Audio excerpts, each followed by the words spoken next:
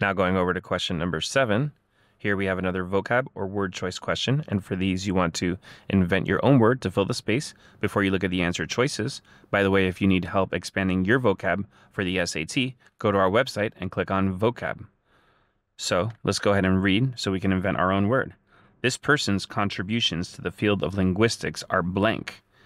Her many accomplishments include working as a professor and a poet, authoring a book, and co founding an institute.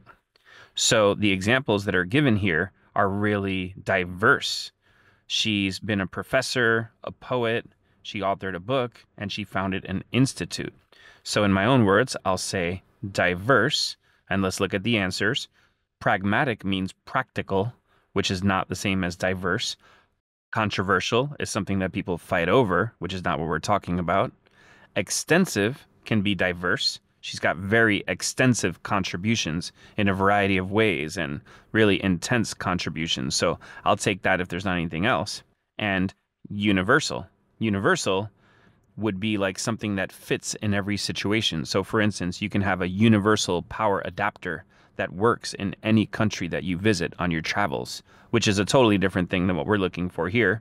We're looking for diverse or very intense contributions because this person just totally had contributions in a million different areas.